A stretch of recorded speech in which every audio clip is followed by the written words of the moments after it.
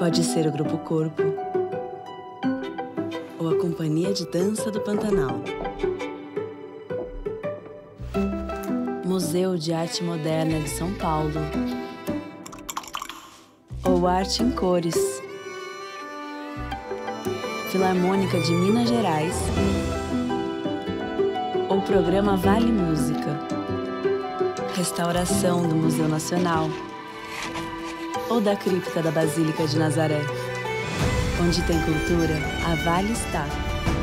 Dos projetos que todo mundo já conhece, até aqueles projetos que todo mundo precisa conhecer. A cultura brasileira tem o nosso apoio. É valorizando essa cultura que crescemos e evoluímos juntos. Instituto Cultural Vale. Mobilidade é vida. Somos a CCR.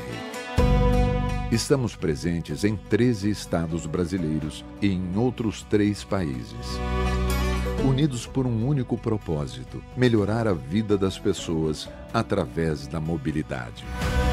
A inovação sustentável nos aponta a direção, as necessidades de nossos clientes, as oportunidades. Valorizamos os encontros, valorizamos a vida. Caixa, o banco com milhões de clientes que sempre tem um olhar especial para quem mais importa: você. É por você que tem nos benefícios sociais a esperança para superar os desafios. É por você que tem direito à moradia digna e quer realizar o sonho da casa própria. É por um país que acredita na união e reconstrução, com mais diversidade, sustentabilidade e muitas oportunidades. Caixa, é por você, é por um novo Brasil.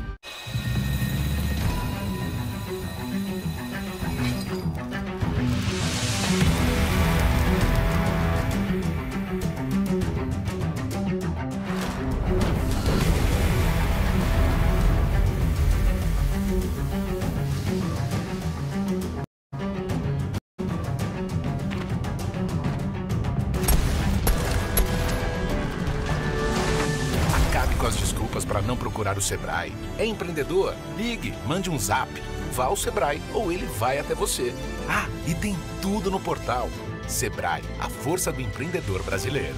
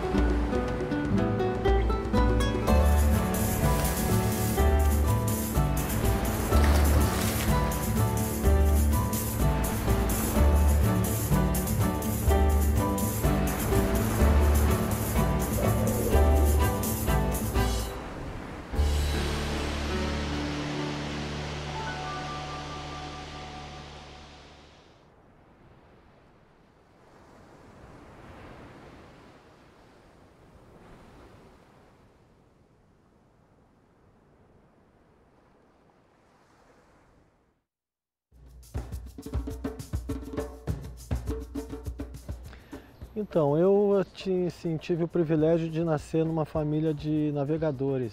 Meu avô veio para cá navegando no começo do século passado, em 1900 e pouquinho. Trabalho lá no Instituto porque tenho esperança. E eu espero que, assim, que, que tem muita coisa bacana rolando em Paraty. A Flip é uma delas, o Instituto é outra delas e tem outras muito bacanas. E eu espero que a força dessa essa força do bem, né, somada e com a transformação feita nessas crianças que estão aprendendo a velejar no instituto ou que vão curtir ler um livro lá na praça durante a flipinha. A esperança é essa, que esse trabalho que a gente vem fazendo, né, essa força do bem, que, que resulte alguma coisa e que Paraty consiga sobreviver a esses novos tempos sombrios aí que a gente está vendo surgindo, né, com guerras e coisas muito ruins, né. Mas a esperança é que, que melhore e eu acho que Paraty tem esse, esse potencial dessa força do bem que ajuda muito a gente alimentar uma esperança de melhora. E assim, vislumbro que todas as crianças têm oportunidades iguais, que sabe que, que a gente seja uma cidade que, que, que transborde cultura para o resto do país. Eu acho que essa é a grande aptidão de Paraty, aptidão náutica, natural, né? Dessas montanhas, desses parques fantásticos que tem aí, que estão conservados, graças a Deus e dessa pegada cultural que Paraty teve, sobretudo com a vinda da Flip para cá. A gente tem um lema lá no Instituto que fala que o Instituto Náutico é a escola que ensina a ler os ventos e escrever o rumo. Flip, o encontro da literatura com a cidade. Ministério da Cultura e a Associação Casa Azul apresentam 21ª Flip, Festa Literária Internacional de Paraty. A Flip conta com benefício da Lei de Incentivo à Cultura, Lei Rouanet, PRONAC 231427 e possui acessibilidade para pessoas com deficiência física, visual e auditiva. Tem patrocínio Master, Instituto Cultural Vale. Patrocínio Ouro, Itaú. CCR e Caixa. Patrocínio Prata, o Globo, Mac Imóveis e Sebrae. Patrocínio Bronze, Globo Livros e Eletronuclear. Parceria Institucional SESC. Prefeitura de Paraty Embratur e Museu do Território. É uma concepção Associação Casa Azul. Realização Ministério da Cultura, Governo Federal, Brasil, União e Reconstrução.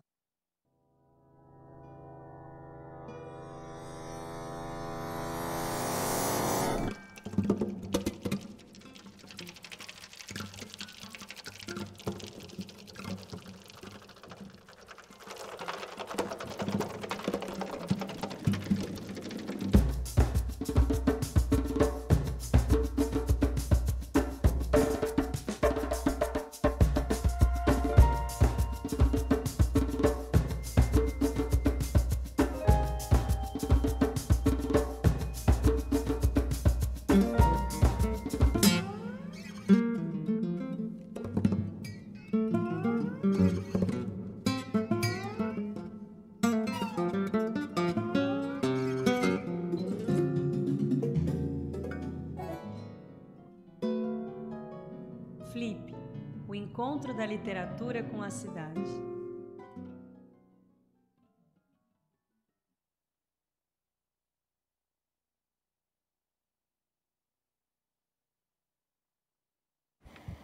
Bom dia, eu sou a Fernanda Bastos, curadora da Flip junto com a Milena Brito. Uma mulher preta, e quero, de cabelos encaracolados, e um vestido quero saudar vocês, agradecer a presença. A gente começou o dia muito bem falando de Pagu, né? Pagu que é citada em todos os títulos das nossas mesas, então a gente tem essa inspiração que segue conosco.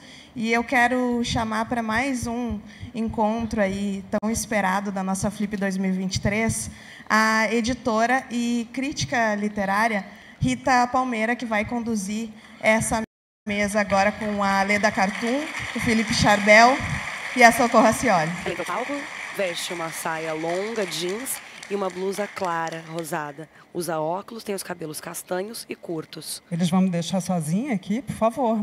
Leda, Felipe, socorro. Leda entra, se senta ao lado dela. Ela veste uma calça bege com uma camisa, uma regata verde musgo. Ao lado dela o senhor, de camisa estampada em azul, calça jeans. E ao seu lado, a senhora com Bom, um bom dia azul a todas claro, e todos. Cabelos é, encaracolados tá e presos. É, é, uma alegria voltar para ti, para essa, para participar dessa 21 primeira Flip. Uh, essa festa faz parte do meu calendário afetivo e profissional há muitos e muitos anos e é sempre uma alegria voltar. É, eu queria agradecer a Flip e a sua imensa equipe. É, vocês podem imaginar, mas é sempre bom lembrar que para isso aqui estar tá de pé, tem muita, mas muita gente trabalhando. Então, um agradecimento a eles todos e todas. Eu queria agradecer especialmente a Fernanda e a Milena, curadoras dessa edição, pelo convite generoso e, sobretudo, pelo desafio que me propuseram quando me chamaram para mediar essa mesa.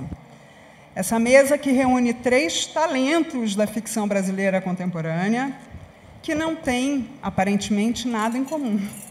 Nem mesmo os sotaques, porque cada um é de um lugar. Ainda bem.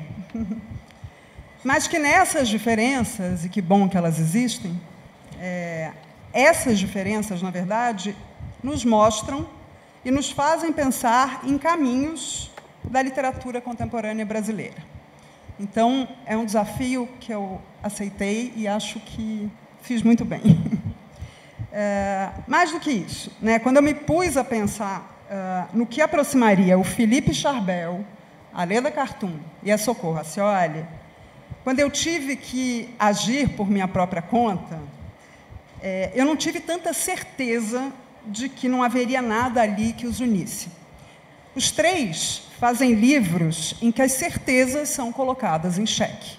Claro, cada um à sua maneira. Para mim, esse é o gesto literário por excelência. E eu desconfio que eles também compartilhem essa ideia. Então, eu vou passar agora a apresentação dos três e dos livros que os três escreveram. É, e, o mais importante, na sequência, eu passo a palavra a eles.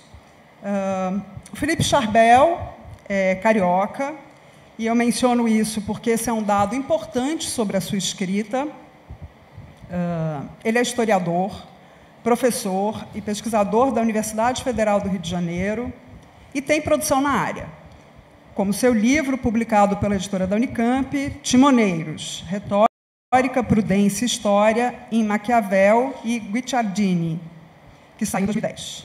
Além de outros volumes que ele organizou. Fora dos muros da academia, e para o Felipe esses muros são bem baixos, eu acho, uh, o Felipe vem se dedicando ao ensaísmo, com o que cabe de ficção nesse ensaísmo, porque cabe, é, ou ao romance diário com o que cabe de ensaísmo ali. Num de seus livros, o autor-narrador diz que o que ele quer é se ensaiar. Felipe promove essas misturas de gêneros e a cada livro ele nos faz ansiar pelo próximo. Pensem que alguém que é capaz de misturar num mesmo texto Gorgias, o do elogio de Helena, e Nescau, o achocolatado. É alguém capaz de falar da educação sentimental do Flaubert e da educação sentimental porque todos passamos quando ouvimos Roberto Carlos. Como ficcionista, ele tem estes dois livros aqui. Uh, Janelas Irreais, que saiu pela Relicário em 2018, e Saia da frente do meu sol, Saia da frente do meu sol, lançado pela Autêntica Contemporânea Ela este ano. o livro. É, só para dar um gostinho da, da prosa do Felipe, antes de passar a apresentação da Leda, uh, é, eu cito um, um, um trechinho uh, de um e-mail reproduzido, né, em que ele se dirige a uma pessoa, uma mulher com quem ele se relaciona, e diz assim: Não sei se serve de consolo, mas sempre teremos este universo feito só de palavras. Sempre teremos o Logos o que me entristece, me revolta até, é que muitos outros tiveram Paris. A Leda Cartoon faz muitas coisas, só vai dar tempo de falar de umas poucas coisas que a Leda faz. Mas todas elas ligadas à escrita, como ela mesma sublinha. Ela é mestre em letras pela Universidade de São Paulo, é tradutora, é, junto com a Sofia Nestrovski, roteirista e apresentadora do 20 Mil Léguas, um podcast sobre ciências e livros, e que eu acompanho de perto, então fico feliz de estar aqui também com a Leda. E, claro, ela é escritora. autora de As Horas do Dia, Pequeno Dicionário Calendário, sete letras, é, saiu pelas sete letras em 2012. O Porto, lançado pela Iluminuras em 2016. Bruno Schultz conduz um cavalo, em parceria com Marcos Cartum, lançado pela Relicário. Eu não estou mostrando os livros da Leda, mas vou mostrar agora. Espera aí. Então, o Bruno Schultz, cadê ele? Está aqui. Ela levanta um livro pequeno de capa Em parceria azul. com Marcos Cartum, pela Relicário. É, esse livro da Leda, ele é, é, um conto que ganhou o prêmio Off Flip em 2014. E aqui ele é ilustrado pelo Marcos. E com a Sofia Nestrovski, parceira de podcast e de tantos outros projetos, o livro As 20 Mil Léguas de Charles Darwin, uma coedição da Fósforo e de, da Edições Sesc, lançado no ano passado. Neste ano, a Leda publicou também pela Fósforo o Formas Feitas no Escuro. Ela levanta um outro Que livro. é um desses livros que a crítica especializada... Daqui a pouco cai tudo aqui, né? É, que é um desses livros que a crítica especializada é, coloca, não sem certa razão, na categoria dos inclassificáveis. O livro da Leda é inclassificável porque a Leda tem uma busca, que dá para acompanhar também desde os outros livros dela, uma busca por uma forma, uma forma própria, uma forma literária, um jeito de escrever que seja seu é, que seja próprio. E faz isso com uma escrita que não se fixa, ela é fugidia, ao mesmo tempo ela é firme. É, a Leda age, né, eu falei isso ontem para ela, quando nós três jantamos, para falar um pouco da mesa, tem sempre esse encontro de bastidor. A Leda age como uma demiurga ali, organizando os personagens e as ações desses instantâneos que compõem o Formas Feitas no Escuro. É, um trechinho só para vocês terem uma ideia, é quando ela diz você, então, é um bote e as ondas se arremessam contra o bote. A Socorro Cioli nasceu em Fortaleza e é uma escritora prolífica. Ela é jornalista e doutora em estudos de literatura pela Universidade Federal Fluminense. É também professora e coordenadora do curso de especialização em escrita e criação da Universidade de Fortaleza. Ainda que mais conhecida por esse romance aqui, que todo mundo deve ter lido, ou quase todo mundo nesse auditório, que é A Cabeça do Santo, uh, que saiu pela Companhia das Letras em 2014. É, a Socorro tem outros tantos livros, né? mais de 20, né, Socorro? Uh, entre infantos juvenis, em que eu destaco o Ela Tem Olhos de Céu, que foi publicado pela Gaivota e pelo qual ela ganhou em 2013 o Jabuti, na categoria de infantil. E seu livro de poemas, que saiu agora, agora esse ano, né? Pela, pelo Círculo de Poemas, né? uma junção da Luna Park e da Fósforo, que chama Taquimadalar, As Ilhas Invisíveis, é uma plaquete. Uh, dona de uma escrita muito própria e, ainda bem, brasileiríssima, dona de um ouvido apurado para a fala popular, ela toma o romance como forma e o coloca a serviço das suas narrativas. A Cabeça do Santo, por exemplo, é uma história saborosíssima sobre uma cidade que tem uma enorme estátua de um Santo Antônio, cuja cabeça, por barbeiragem do construtor, nunca pôde ser colocada no lugar. O padroeiro da cidade se torna, paradoxalmente, a sua fonte de desgraça. Um forasteiro, e esses personagens clássicos estão sempre nos livros da Socorro, chega e bagunça a paz do lugar. E aí começa a história. Seus leitores esperaram pacientemente, né, lembrando que o Cabeça é de 2014, por seu, próximo, por seu romance seguinte, que finalmente chegou, faz pouquíssimo tempo, já está sendo reimpresso. Ela mostra o livro. Que é Oração para Desaparecer, azul, também publicado pela Companhia das Letras. Com um cavalo marinho em preto. Aquilo que não se explica, o mágico, está novamente em cena. Dessa vez, a protagonista é uma mulher brasileira que é desenterrada viva numa aldeia portuguesa e não faz ideia de quem é. Bom, mas vamos ouvi-los, já falei bastante. É, Felipe Leda Socorro, é uma alegria enorme estar aqui com vocês. E minha primeira pergunta, só para a gente esquentar um pouco mais do que já está quente, É, vou pedir para vocês falarem como que vocês uh, começam a escrever seus livros. Pesquisa, enfim, leituras, etc. E também, porque isso é uma curiosidade que sempre ajuda a conhecer o escritor, uh, o que que, a que horas vocês escrevem, com que frequência, se reescrevem muito, como é. E aí, com isso, o público vai começando a conhecer um pouquinho de vocês. Obrigada. Quem começa? Vai lá, Leda. Tá bom. bom, muito contente de estar aqui. Obrigada, Rita. Achei muito bonito o que você falou. É, é, muito bom ouvir sobre o que a gente escreve, porque acho que a gente fica tão imerso escrevendo que quando toda vez que eu ouço alguém comentando o meu próprio texto, os meus próprios livros, parece que eles revelam alguma coisa para mim que eu já não sei mais e que a partir do momento em que me dizem sobre o que, que eu escrevi, eu descubro. Parece que quem lê sabe um segredo que eu que escrevi já não sei mais. Então foi um pouco o que eu senti te ouvindo. Então obrigada pela apresentação. É, sobre isso que você perguntou, sobre como é que funciona a escrita para mim e, e, a maneira como eu escrevo, é difícil responder, também porque eu acho que nos meus livros, como você mesma falou, Rita, uh, eu estou em busca de uma forma que não tem nada de definido. É, eu começo muito pelo indefinido, justamente, e acho que a minha tentativa é me manter nesse indefinido à medida que eu vou definindo o, os textos. Então, eu vou falar do Formas Feitas no Escuro, que eu acho que é o mais próximo de mim e também o que está mais recente. É, eu comecei simplesmente jogando textos num caderno, sem saber o que, que eu estava fazendo, jogando pensamentos. Isso sete anos atrás.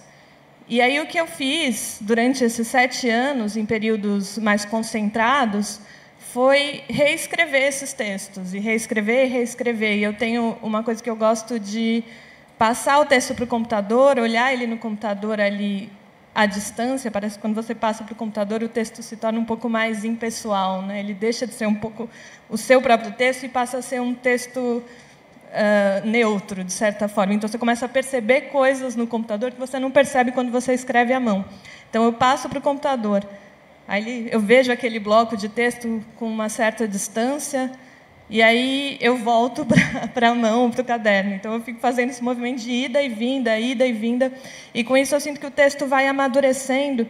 E mais do que isso, o que eu, o que eu sinto nesse processo muito lento e muito longo de reescrita, porque os textos são muito curtos aqui no livro, né? É, então, cada um passou por, não sei dizer, dezenas e dezenas de versões para chegar na versão final. O que eu sinto é que eles vão acumulando camadas. Então, a minha impressão é de que, em nenhum momento, uh, eu perco alguma coisa. É, não é que a cada versão eu perdi a anterior, parece que elas vão se somando mesmo como uma pedra, como uma matéria sedimentar que vai acumulando com o tempo. E acho que é por isso que eu gosto de escrever lentamente e respeitar um tempo longo mesmo, que é o tempo do acúmulo. É, a gente não tem acesso ao tempo geológico, que esse tempo dos milhões de anos, milhares de anos, mas eu sinto que na escrita eu posso acessar alguma coisa disso.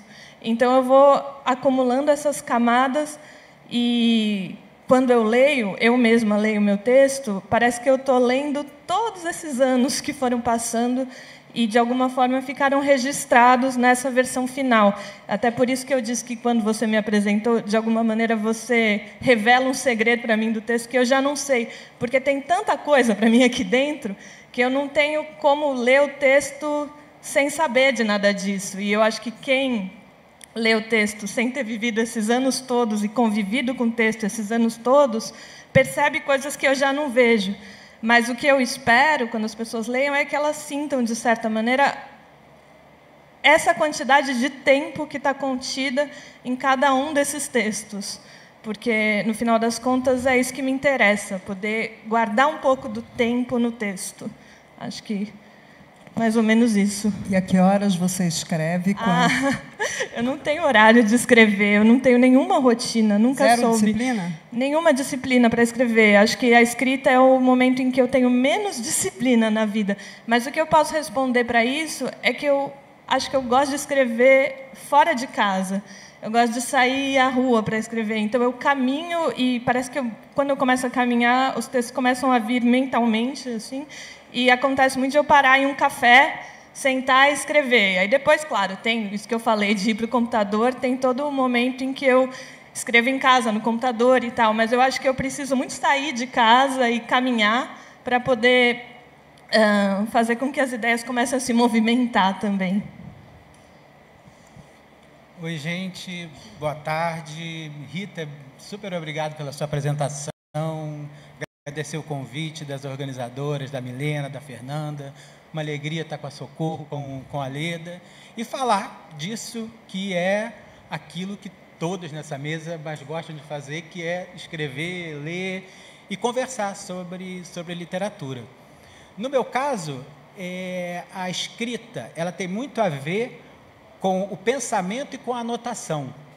Eu passo pouco tempo no computador escrevendo. Eu gosto mesmo de pensar sobre o que eu vou fazer, de tomar notas até o momento em que o livro possa quase que se escrever sozinho. Claro que não se escreve sozinho, né? Tem que trabalhar, tem que é, transcrever esse material todo, mas um pouco essa é, é a ideia, de chegar a um procedimento, de chegar a uma maneira que o livro possa se fazer rapidamente. Então eu tenho, em geral, ideias que eu vou escrever às vezes anos depois. Eu posso ficar um ano, dois anos com a ideia de um ensaio, por exemplo, e tomando notas ou pensando sobre aquilo. Então, isso é escrever, né? Às vezes me perguntam: você escreve todo dia? Eu digo: não, eu não escrevo todo dia. Eu tenho preguiça de escrever todo dia. Seria uma cobrança, né? Seria transformar a escrita num, num trabalho. Mas eu penso todos os dias sobre o que eu vou escrever, eu tomo notas todos os dias, então, em certa medida, sim. Né? Então, aqui para Flip, por exemplo, eu evidentemente trouxe um caderno, queria fazer um diário da Flip, que já não deu certo, porque ontem eu já não anotei nada, né? Então. Ainda enfim, bem, né? Já não vai dar o meu diário da Flip. Mas é isso. No caso do, do Sai da Frente do Meu Sol, esse processo da, da demora, da espera, ele foi assim ainda maior do que em outros textos. Porque tem um momento do livro que eu digo assim, que de algum modo eu estou escrevendo esse livro desde os nove anos de idade. É claro que eu não comecei a escrever o livro desde os nove anos de idade, mas foi o momento em que eu comecei a observar o tio Ricardo e comecei a perceber que a vida dele tinha alguma coisa de diferente e que capturava a minha atenção de menino. Mas, claro, eu não sabia o que, aquilo ficou na minha mente. Quando ele morre, eu lembro de no enterro dele pensar: caramba, eu gostaria de ser escritor para poder escrever sobre o que eu vi hoje no enterro dele, que eram poucas pessoas e, e foi um momento é, triste. Mas eu não me via como escritor na época, eu estava fazendo mestrado, doutorado, enfim, cuidando da, da, da minha vida, né? E só depois que eu vou ter ideia de colocar isso no papel, mas num conto que fracassa. Então, o fracasso é um companheiro constante, né? Até o momento em que eu encontro as fotos dele e aí sim eu penso, agora eu tenho o material para escrever esse livro. E o livro em si eu escrevi rápido, durante a pandemia, um ano e meio, um ano e pouquinho, mas com esse acúmulo de, de materiais, né? A memória, as coisas que eu ia lembrando, aos documentos que eu fui guardando, as fotos que eu encontrei, e, e aí sim, né? Aí então encontrei o jeito de dar a forma. Então, escrever para mim tem muito a ver com pesquisar, com fazer uma pesquisa que é em busca de uma forma. Né? Enquanto não encontra a forma, não tem jeito, a coisa não vai dar certo, não vai funcionar. Se encontra a forma, aí sim eu entendo que a coisa pode funcionar, pode dar certo. E sobre horários que você perguntou, é, eu, não, eu não posso ter muito esses horários porque eu sou professor, eu tenho uma profissão que me demanda muito. Então, em alguma medida, eu tenho que ir adaptando esses horários às obrigações, né? Então, isso tornou, né, fez com que meus horários fossem muito flexíveis, porque eu escrevo quando dá, quando eu posso, quando sobra tempo, é, muito no domingo, muito na, na, nas férias, né? e quando dá, é isso. Né? Boa tarde, todo mundo. Boa tarde, meus colegas de mesa, Felipe, Leda, Rita. Milena Fernanda, muito obrigada. A Flip é muito, muito legal, de qualquer maneira, mas está aqui, deixa a Flip muito mais especial para mim. É uma alegria muito grande poder falar aqui da, da coisa mais legal das nossas vidas, que é a literatura. Até agora, sobre a pergunta, até agora, o que tem acontecido é que eu me deparo com notícias, com fotos ou com situações reais porque o lugar onde eu nasci, o Ceará, é um lugar muito fértil para isso. E eu estou, inclusive, gostando que a gente está vivendo uma experiência imersiva de Ceará, que vocês estão se sentindo exatamente como o Samuel se sentiu, para quem leu Cabeça do Santo, andando no sol quente. É exatamente isso. É, eu gostei que as meninas prepararam uma experiência sensor, multissensorial. Mas, em geral, a parte de, no caso do Cabeça do Santo, a partir de notícia de jornal, de, dessa história de uma cidade que mandou construir uma, uma estátua de Santo Antônio de 33 metros para fazer da cidade um centro de peregrinação e houve esse erro lá o, o rapaz o mestre de obras tomou uma cachaça e mandou subir a cabeça inteira ao invés de subir por peças como deveria ser a cabeça ficou no chão eu vi essa notícia de jornal e a pessoa que foi ouvida dizia que era um absurdo fazer isso com Santo Antônio, porque a cabeça ali era morada de bicho, banheiro público, motel, e até um vagabundo já tinha morado lá dentro. E não dava para ver uma história de uma cabeça de Santo Antônio no sertão e um vagabundo morar dentro da cabeça, que era se fosse um santo, um beato, um padre, eu acho que eu não ia ter tanta história do que um vagabundo bêbado dentro da cabeça de Santo Antônio. É impossível não querer desenvolver isso. A história do Oração para Desaparecer é uma igreja que ficou 45 anos completamente coberta e numa aldeia que só tinha isso praticamente, lá em Almofala, e as pessoas de madrugada ouviam missa, ouviam sino tocando, ouviam as pessoas cantando, as crianças desenterravam, as mulheres, os homens. Então, sempre tem partido, até agora pelo menos, de, de um caso, de uma história real, e que eu me sinto na obrigação de transformar em ficção. É de fato eu me coloco na obrigação de honrar a sorte de ter aquela história caído na minha mão. Né? E assim eu tenho o, o Tak Madalá também é um livro, é um plaquete de poemas, mas é, o, o, Leonardo me pediu um, que escrevesse esse, essa plaquete com 10 textos, 15 textos, a partir de um mapa. E eu tinha acabado de operar a vesícula e o dono do laboratório era meu amigo, ele ficou me mandando todas as lâminas da, da minha vesícula, as, as lâminas de, da biópsia e, e as, a foto da pedra da vesícula e todo mundo do laboratório rindo, porque a pedra era grande demais. Mas no meio dessa, dessa bobagem toda da minha vesícula, da falecida, tinha uma lâmina que parecia um arquipélago, era a coisa mais linda.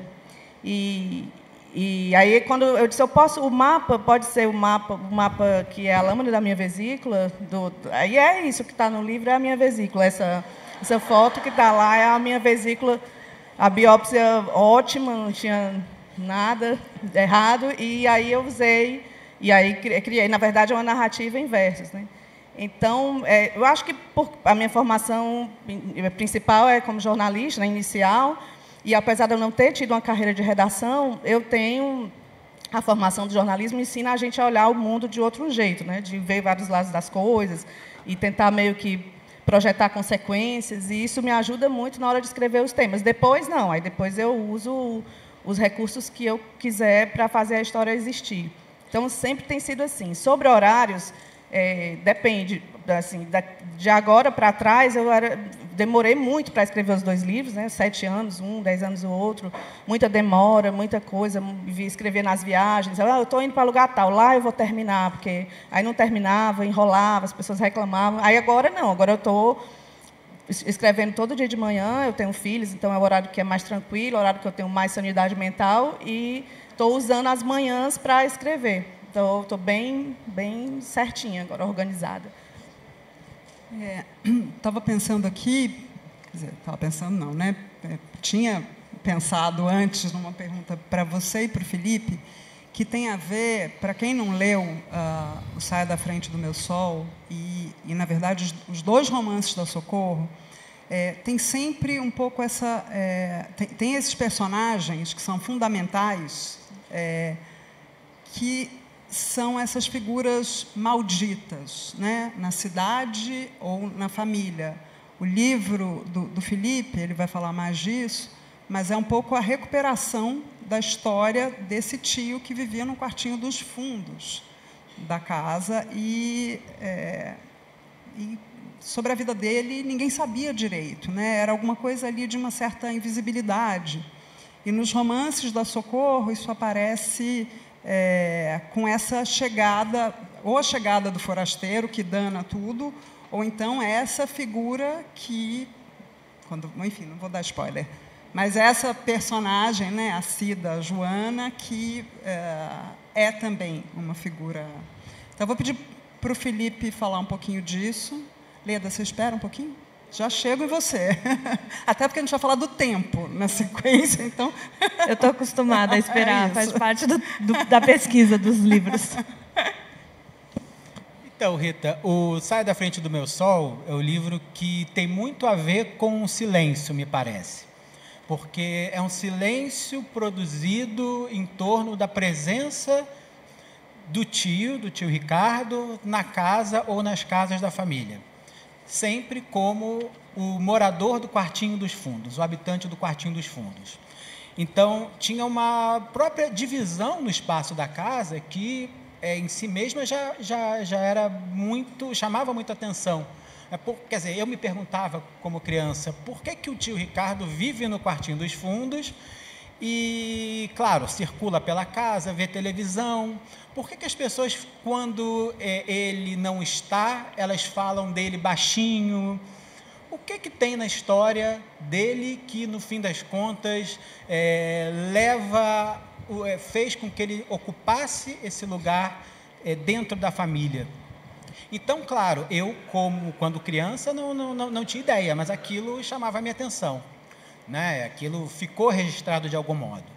Até o dia que ele vai morar com a gente. Eu tinha aí uns 19, 20 anos, estava fazendo a graduação e ele vai morar com minha mãe acolhe o tio Ricardo e lá em casa ele vai morar exatamente no quartinho dos fundos. É o momento que eu passo a ter mais contato com ele. Ele gostava muito de futebol, a gente vê jogo é, na TV e, mas ele também não conversava muito sobre a sua, a sua vida. Ele morre, é, eu penso em escrever sobre ele, começo a entender, já adulto, que aquela posição dele na casa tinha a ver com a maneira como ele vivia a sexualidade dele. E que era justamente esse o motivo da, do, do, silêncio, do disse-me-disse, -disse, das coisas que a família dizia sem dizer, né? que eram as frases que eu comecei a me lembrar e eu quase consigo escutar essas frases numa voz que é uma voz da família, não de alguém de A, B ou C, mas uma voz de um coro quase, né? Que era o. É, contam, ele não se casou, mas contam que certa vez teve uma noiva, saía de casa nas noites de sexta e voltava no domingo. E eu pensava, como é que uma pessoa que sai de casa na noite de sexta e volta no domingo não teve uma vida legal, não teve uma vida interessante, né? certamente muito mais que a minha. Então, é, é isso né, que, que, que, que eu comecei a me lembrar. Então, é um livro que ele não é sobre memória, mas ele parte da memória, desses fiapinhos da memória, que foi um pouco o que eu pensei em fazer, fazer um livro com muito pouco. Né? Eu sou formado em História, dou aula numa graduação em História, e justamente por isso eu quis, no livro, agir de uma maneira oposta a que um historiador faria. Né? Embora tenha a questão do documento, do arquivo, tudo isso. Mas eu pensei, vou contar uma história com muito pouco. Que pouco? Esses fiapinhos da memória, alguns poucos documentos e frases que estão nesses documentos e as fotos, que também não são muitas.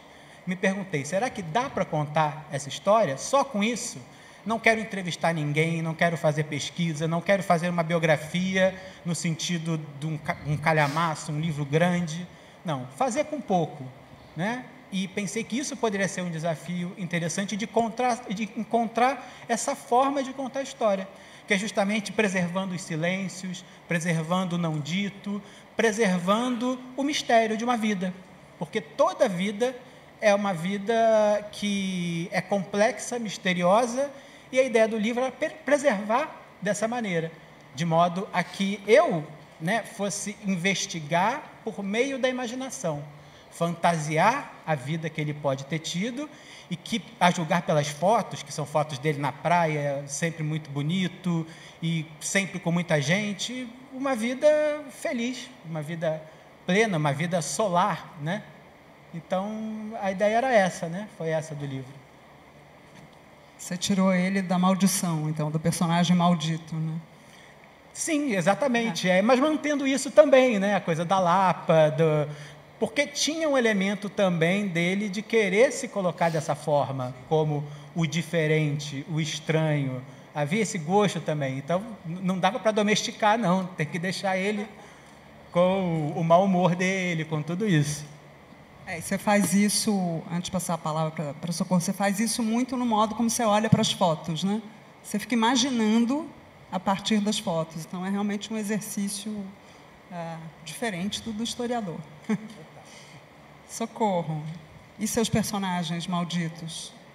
Eu vou falar mais da, da protagonista do Oração para Desaparecer, porque ela, o surgimento dela foi diferente do no Cabeça do Santo. O personagem chegou primeiro eu, na cabeça, depois esse personagem, eles vieram os dois juntos no mesmo no primeiro momento. E quando eu uma amiga me ligou, a Luciana, que é jornalista, ligou para dizer que tinha visto uma foto de uma igreja que ficou 45 anos enterrada. Ela estava numa exposição de fotos históricas do Ceará. Ela disse: Olha, estou vendo um negócio aqui, é a tua cara. Toda, toda vez que algum amigo vê uma coisa muito estranha, diz que é a minha cara. Em geral, notícias de jornal muito estranhas, coisas. Agora morreu um cara, todo mundo velou, enterrou, e três dias depois o cara apareceu e o morto era outro. E as, várias pessoas mandaram para mim. O cachorro que vai à missa numa cidade, todo dia na mesma hora, o cachorro vai passar a missa toda e sai, as pessoas mandam para mim. E tem uma muito boa de uma empreendedora de, uma, de um pequeno negócio no interior do Ceará, que ela descobriu em algumas cidades que algumas mulheres, quando queriam casar, morriam antes de ter casado, que era o sonho casar, é, se, se, eram enterradas com vestido de noiva. E ela foi descobrindo, desenterrando, pegando os vestidos, lavando e revendendo numa cidade longe. Essa eu achei uma, um caso de empreendedorismo bizarro que se eu encontrar, eu faço. Se eu encontrar, vai ser o meu romance próximo. Eu não sei até que ponto isso procede, mas é muito. Eu sei que é mórbido, mas é muito legal. E é, são essas as coisas que as pessoas me mandam. Mas aí, quando ela mandou essa foto da igreja, eu comecei a pesquisar em Almofala, no município de Tarema, e descobri que é um território tremembé. Então, essa igreja ela foi construída como um pacto entre os padres seculares da, da região, que estavam ali tentando a catequese dos tremembés, porque eles encontraram uma santa, né, isso é uma história clássica nas, na, na, em vários países acontece aqui, apareceu, aconteceu em Aparecida, de é, um, povos originários encontram uma santa, uma imagem católica caída no barco no fundo do rio, né, e recupera, e eles começaram em Almofala adorar essa santa, chamando de labareda, porque eles encontraram no sol do meio-dia e parecia, ela tinha uma pintura dourada e parecia uma chama, uma labareda. E aí houve uma negociação entre os padres seculares. Olha, essa, essa santa é, é, de ouro, é pintada a ouro, e tudo, a gente queria trocar. A gente constrói a igreja, vocês podem dançar o torém na frente, mas a santa a gente quer. E aí foi, veio o material da Bahia, a madeira e a mão de obra de escravizados pelo rio Acaraú, da Bahia. Os tremembés participaram da construção da igreja, trazendo os búzios do mar, conchas e misturando a cal, fazendo a cal de marisco, porque ele queria que a igreja tivesse o espírito do mar, e com o dinheiro da coroa portuguesa. Então, eu tinha muita coisa, mas eu não tinha nada, eu não conseguia pensar como é que eu ia fazer disso uma história Ali eu não sabia para que lado começar. Eu não sou antropóloga nem historiadora para me apropriar desses fatos. Eu não queria fazer isso, nem queria cometer nenhum erro.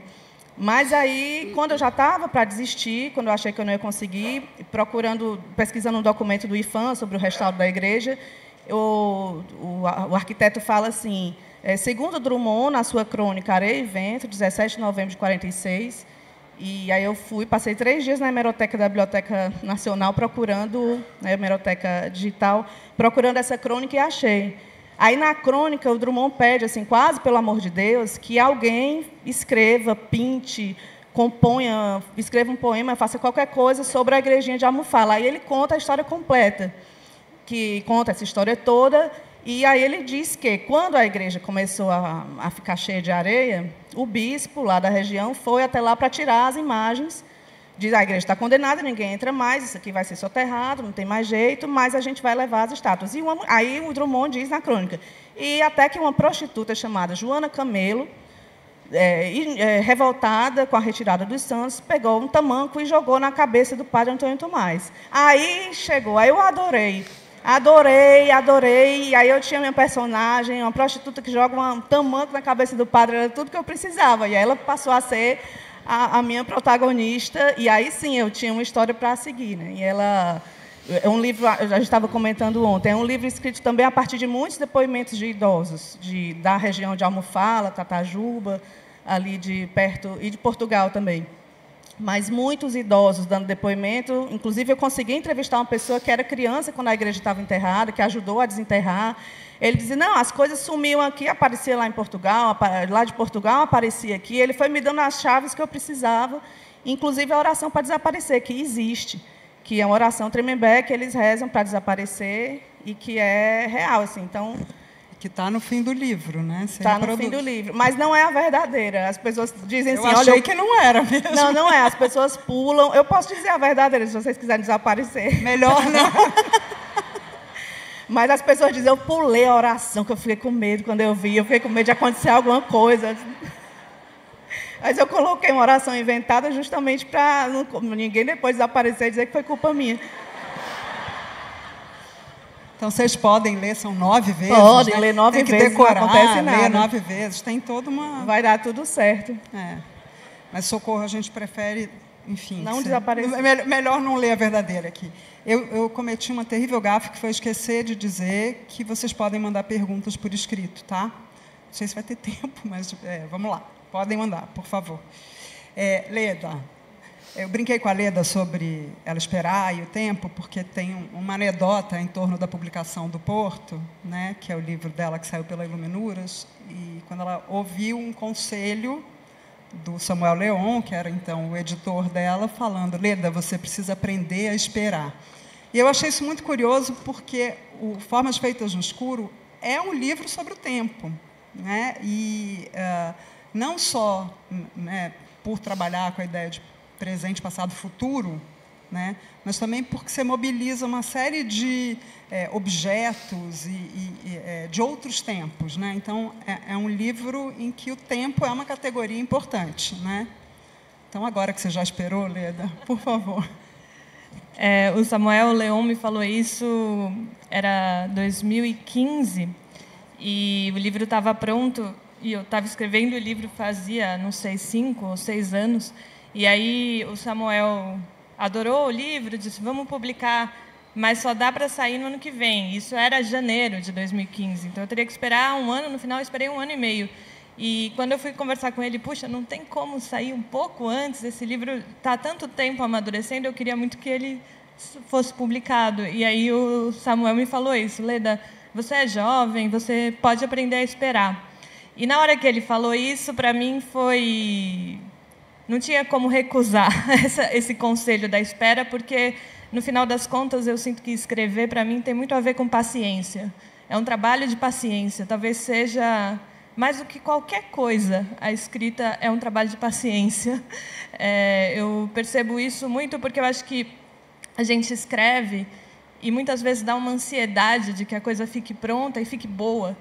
É, e ela não vai ficar pronta se a gente não for paciente. Eu acho que a gente, no mundo que a gente vive, em que o tempo é cada vez mais imediato, a gente tem muita dificuldade dessa espera mais longa e mais é, passiva também. Eu gostei disso que o Felipe falou, de que às vezes os livros se escrevem sozinhos. E o nosso movimento às vezes é mínimo, é só não estragar o que o que está se fazendo ali, né? É, e eu acho que isso tem muito a ver com paciência, é, tem muito a ver com se manter alerta e, ao mesmo tempo, uh, na espera. E isso que você falou, Rita, de que é um livro sobre o tempo, o Formas Feitas no Escuro, no final das contas, eu acho que sempre as coisas que eu escrevo é, eu me dou conta de que não sei se são sobre o tempo ou se são maneiras tentativas, ensaios de encontrar o tempo, capturar alguma coisa do tempo.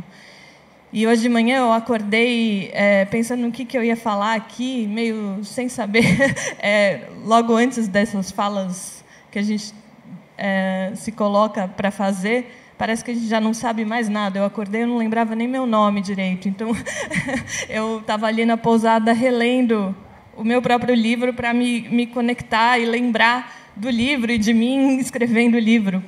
É, porque, como eu estava falando, foi, muito tempo nesse livro e já faz tempo também, é, para mim, pelo menos. Muita coisa aconteceu desde então. Então, estava ali relendo e me lembrei, é, nessa releitura, de uma coisa que eu acho que é um dos princípios de, de por que, que eu escrevo, de onde que veio isso, e que eu acho que tem a ver com a sua pergunta, Rita. Eu me lembrei de um livro que eu li uh, de uma sobrevivente da Segunda Guerra, a Ruth Kluger. É um livro que se chama Paisagens da Memória. Aliás, esse nome já tem muito a ver com tudo que eu estou falando aqui.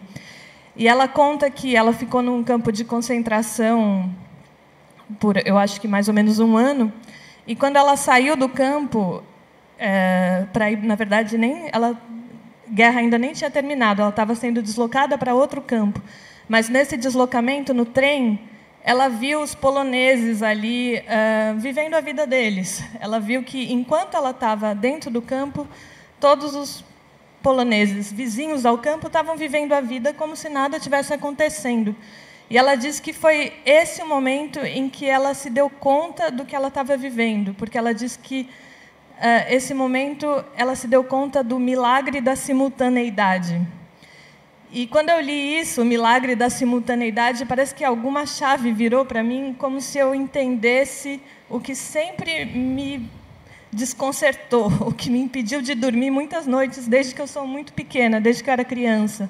Essa sensação de que tudo está acontecendo ao mesmo tempo. Então, enquanto a gente está aqui agora, tem uma guerra acontecendo, tem gente morrendo, tem gente nascendo, tem uma baleia no fundo do mar uh, parindo um bebê, tudo isso está acontecendo agora.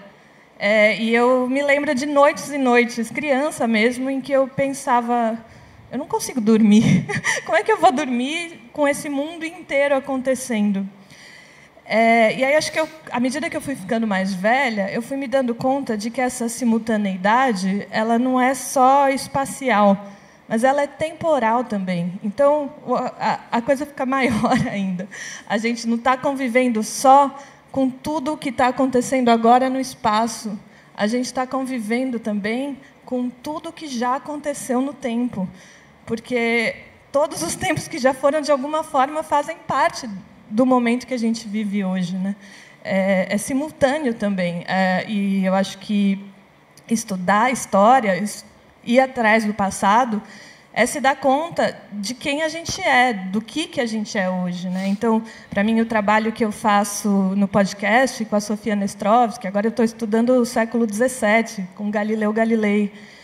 E, para mim, esse trabalho é tão realizador porque parece que eu vou me dando conta de como o século XVII e hoje não são diferentes, e como nós hoje somos o que somos porque no século XVII um homem começou a ver montanhas no, no meio da Lua. Apontou um instrumento ali que ninguém sabia direito o que, que era, que aproximava coisas distantes, e de repente viu um relevo na Lua, viu montanhas e vales na Lua. E é por isso que a gente pensa do jeito que a gente pensa hoje.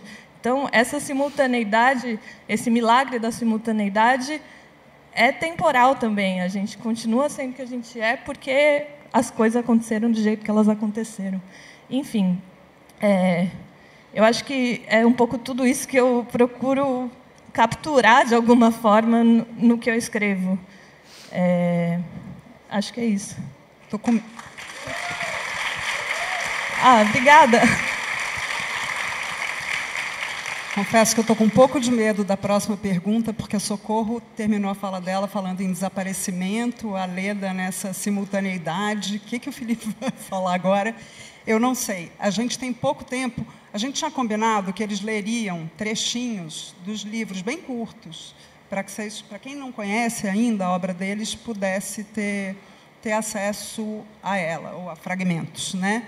É, eu, a Flip ainda não me disse que falta pouco tempo, então eu vou pedir para a Leda começar, com, até porque acho que tem a ver com isso que a gente estava falando agora, não tem o o trecho de alguma forma? Sim, acho que Depois sim. a Socorro, e aí eu passo para o Felipe com uma pergunta.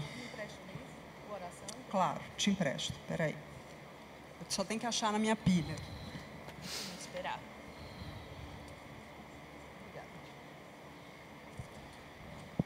Bom, eu vou ler um trechinho da primeira parte do livro. Desde cedo, ao acordar, um homem corria muito só ao fim dos dias longos é que ele se via então diante da porta de casa. Recuperava o fôlego, desacelerava o passo e depois disso, enfim, chegava e fechava, janela por janela, cada um dos aposentos. Mas mesmo assim, certas frestas ficavam abertas, desapercebidas.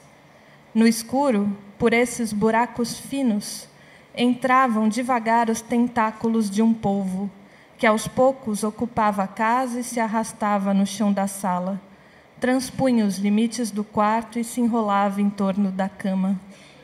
O homem até tropeçava em um braço do monstro enquanto voltava a correr para alcançar o interruptor.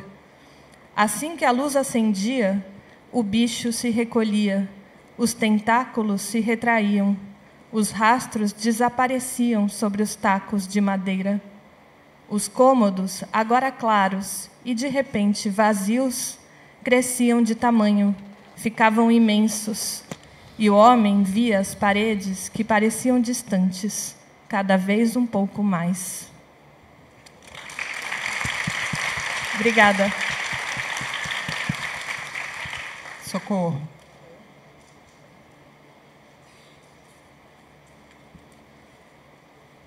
Vou ler aqui o comecinho do Oração para Desaparecer. Acordei com os olhos grudados de lama, o nariz entupido de terra e a boca cheia de areia estralando nos dentes. Alguém me enterrou. Bichos alisavam minha língua, rastejavam pelos ouvidos e por outros caminhos para dentro das carnes. Debaixo do chão era uma agonia gelada, molhada, fedida. Não sentia braços e pernas no breu daquela cova. Perdi a noção do meu corpo, achei que me transformaria em um bicho morto, me desfazendo até virar pó. Ninguém sabe o que fazer na hora da morte. Quando eu já suplicava pelo fim, o buraco me apertou como uma mão gigante de terra, envolveu meu corpo inteiro e começou a me expulsar.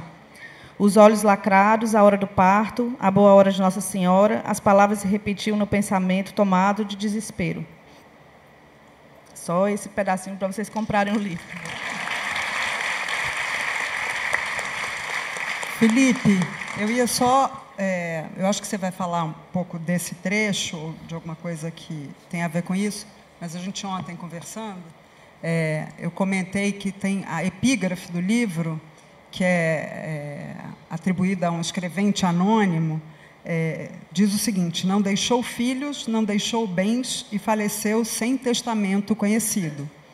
Uh, é o escrevente do, da, da, que testemunha a, que dá, dá fé, né, sei lá como é o nome disso, é, a morte do tio Ricardo. É, mas tem um acento machadiano incrível nisso, e, e, acho que você vai ler um trecho que tem a ver com, com o atestado de óbito dele.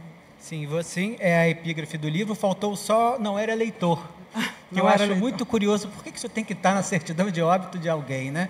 Então, não deixou filhos, não deixou bens, não era leitor e faleceu sem testamento conhecido escrevente anônimo, que é justamente um trecho da certidão de óbito dele, um trecho que me pareceu muito literário, né? Eu pensei, caramba, dá para encontrar literatura em todo tipo de, de documento. Então eu vou ler um trecho que é um comentário justamente a essa passagem, a certidão. Nesse mesmo bolo de papéis, encontrei a certidão de óbito do meu tio. Ao contrário dos outros documentos que estão naquele saco plástico, este aqui me fala diretamente à memória. É que fui o declarante da morte de Ricardo.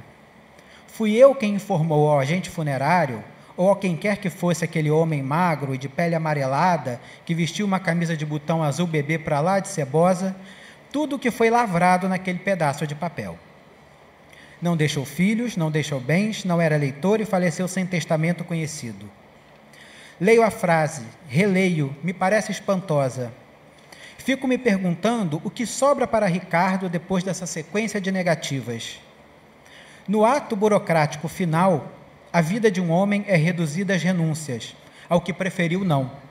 Procriar, se possível como resultado natural do casamento, construir patrimônio, deixar alguma coisa para os filhos que não teve, cumprir as obrigações com o Estado, votar, distribuir suas posses inexistentes ou palavras lacônicas para que seu nome continuasse circulando por mais algum tempo na boca dos vivos. Mas a vida do meu tio não se projeta um único milímetro para frente. É como se ele tivesse feito do apagamento o seu legado possível, a sua única herança.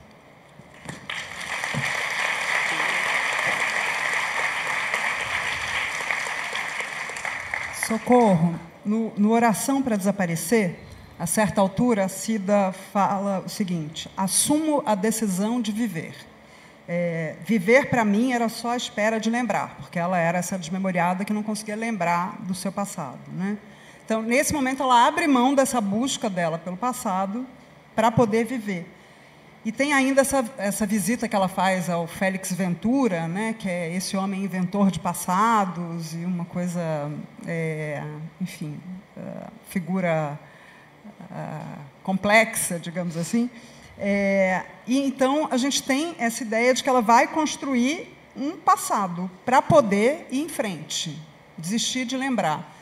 E aí tem uma coisa muito bonita que é o modo como você trabalha a memória no seu livro, nesse livro em especial, né? Se você pudesse falar um pouquinho disso. É, é, quando ela, não, eu queria falar do Félix Ventura, que é um personagem do Zé Eduardo Agualusa que ele me emprestou, porque eu precisei em determinado momento, decidir como é que ia ser a narração desse, dessa primeira parte do livro. Eu precisava que ela mesma narrasse a falta das, das, da memória, das memórias, de saber quem ela era. Ela não sabe, a única coisa que ela sabia quando sai dessa cova, que ela é desenterrada por um casal, ela sabe que ela é brasileira porque eles reconhecem o sotaque, mas ela e, e um colar de búzios que ela leva no pescoço, mais e mais nada. Então, ela passa um tempo ainda tentando lembrar, e quando eu precisava que ela narrasse isso, eu achei que seria perfeito usar um personagem que, que trabalha inventando passados para pessoas que precisam fugir por, por qualquer motivo. Mas ela é era o contrário, né? ela não lembrava mesmo e ela precisava seguir para frente. E, e, essa ideia de, de, reescre de reescrever a, o, o próprio passado para poder entender a vida é uma ideia muito da minha experiência com a, com a psicanálise, né? como analisando, não como analista e de pensar nessa, nesse, nessa lida com as palavras para fazer esse caminho de reconstruir uma ruína e seguir para frente. Você falou até ontem que eu, da, sobre as cidades abandonadas, as ruínas, que refazer alguma coisa a partir de ruína, eu acho que, que é, é sempre um tema que aparece para mim. De, né, essa, essa igreja foi, ela depois que foi desenterrada, ela ficou completamente destruída, né, por causa da umidade, teve que ser refeita. A cidade lá da Cabeça do Santo foi refeita também. E acaba sendo assim.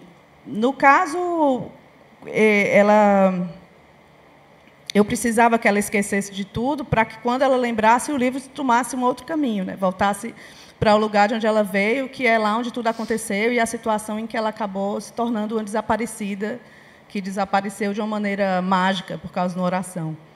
E, e, a, e, acaba sendo a memória sendo sempre no, no cabeça do santo o, o, personagem também precisa voltar para a memória da cidade para poder chegar perto do que ele quer desde o começo que é encontrar o pai. Mesmo que no começo ele quer encontrar o pai para matar com raiva mas ele precisa reconstruir a memória dessa cidade entender a memória da cidade para poder chegar no, no encontro com o pai Acho que a gente faz isso o tempo inteiro. Né? A gente repassa a vida o tempo inteiro. O Leandro falou hoje de manhã, teve que repassar o, a escrita do livro.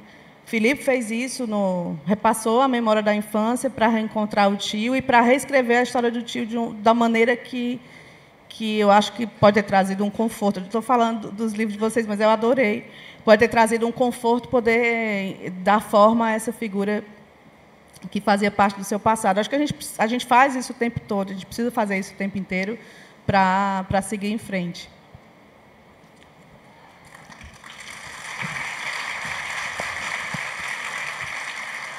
Bom, acabei de ser informada de que a gente tem só 10 minutos e ainda faltam 10 perguntas. Então, eu vou ter que fazer uma oração para o pessoal aqui atrás desaparecer e parar de me cobrar isso. Mas vamos lá. Eu queria, só porque a gente falou disso ontem e porque eu acho que é um momento é, divertido. Uh, na, quer dizer, para o Felipe talvez não tanto na história ali que ele narra, mas é um ponto um pouco que vocês contassem um encontro com alguns escritores que marcam a trajetória de vocês e que aparecem é, ou em discursos ou nos próprios livros, né? Então a Socorro vai contar para a gente do encontro dela. Quem acompanha a Socorro sabe disso. O encontro dela com o Garcia Marques, né, da oficina que ela fez, tudo mais. Não precisa falar da oficina, mas falar um pouco do Garcia Marques. O Felipe narra no Janelas é, uma, uh, como se fala isso, uma apresentação, uma leitura é, do Philip Roth, é, que, a que ele assistiu em Nova York. É, isso tem ali uma função na, no enredo que é, que é super interessante. E aí eu brinquei ontem com a Leda, falei, mas Leda, e você? Com quem você encontrou? Né? Quem vai ser o seu escritor? Porque eu quero te fazer a pergunta também. Eu não ia fazer a Leda esperar pela segunda vez.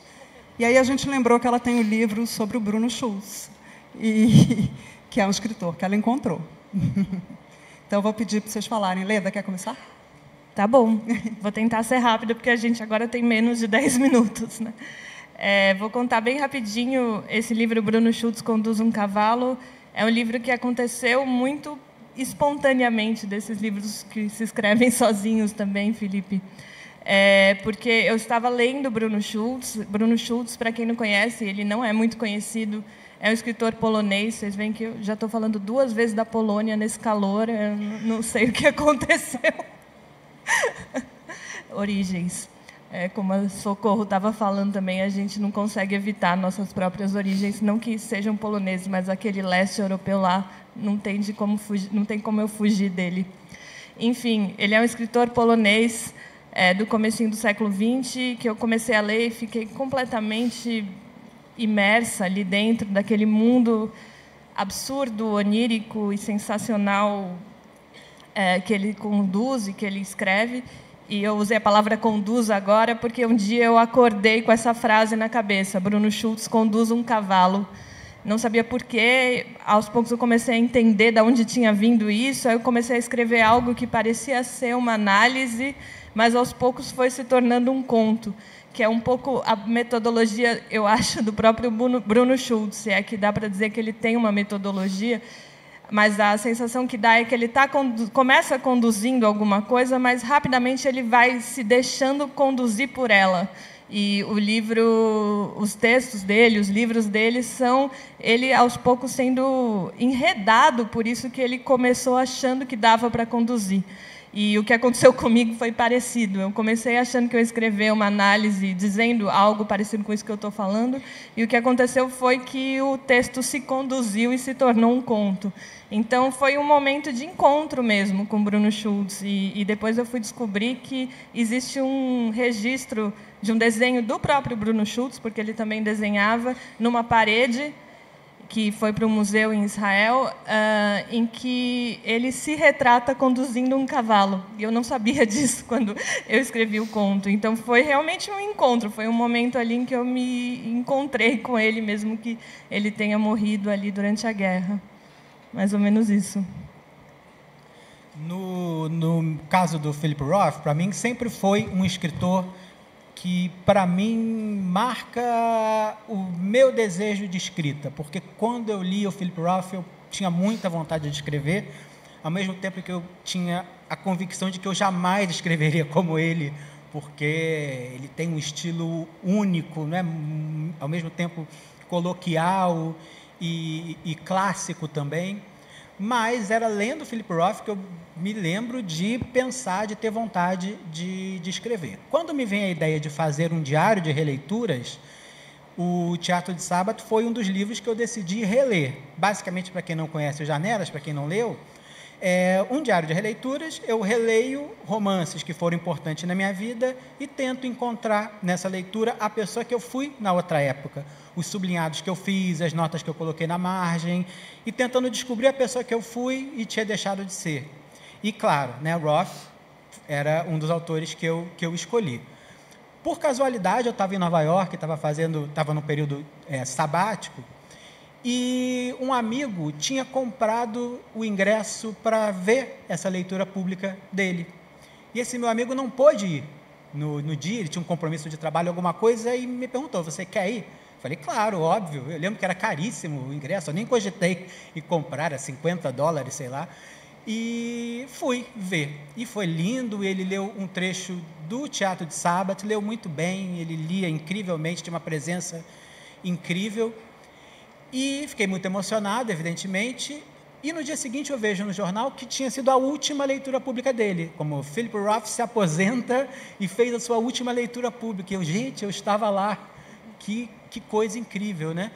E no, no capítulo 2 do Janelas Irreais eu, eu relato, é uma parte é, importante que tem a ver com esse fascínio com um escritor, com uma escritora, que é um fascínio produtivo, né, que te leva a, a escrever.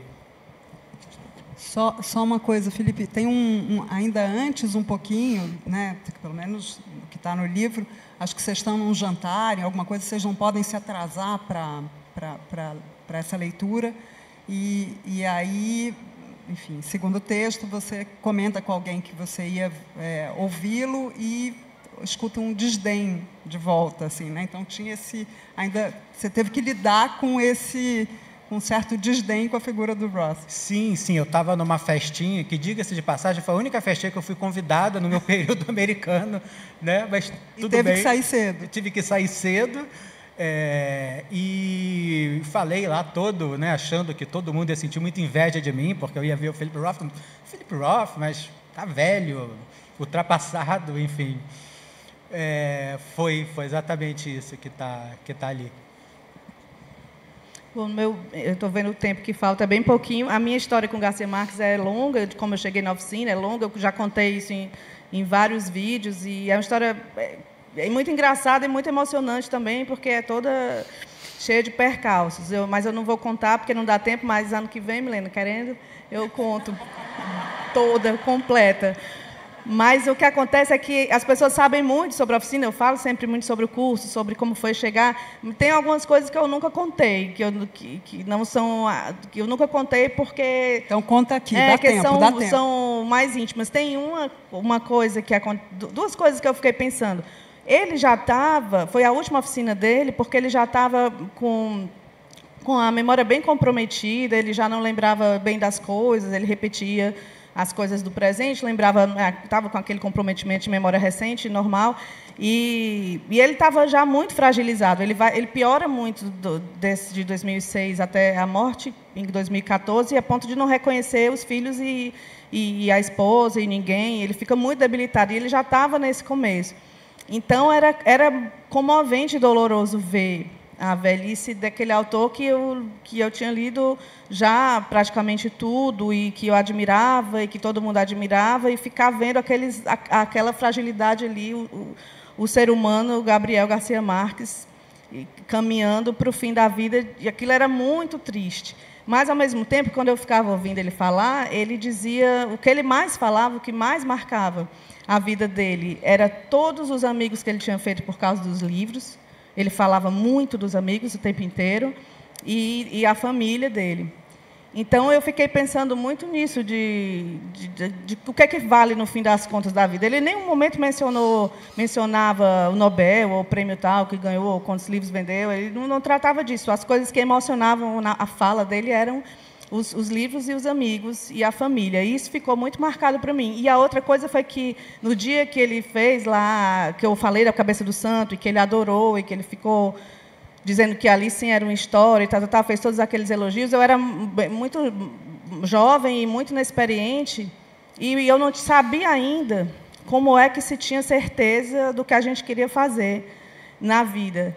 E só que ele me ensinou a ter certeza quando ele me disse que eu tinha criado uma história e que eu gostava de falar daquilo, que aquela história me fazia, quando eu contava, eu ficava muito feliz. Ele falou no momento fora de sala de aula, que gostava do jeito que eu falava, de falar feliz sobre aquela loucura da cabeça. Então, ele me ensinou isso, que a gente tem que acreditar no que a gente se sente feliz fazendo e ponto final. E eu me prometi lá no dia que ele disse isso, eu fui andando, falando sozinha, da sala de aula lá para o apartamento que eu estava hospedada, pedindo para mim mesmo prometer que eu ia acreditar e ter muita fé em tudo que me fizesse feliz. Isso eu nunca tinha falado para ninguém, essas duas coisas da, da oficina, e, mas é o que de fato ficou, é o que ficou e que me, me leva até hoje.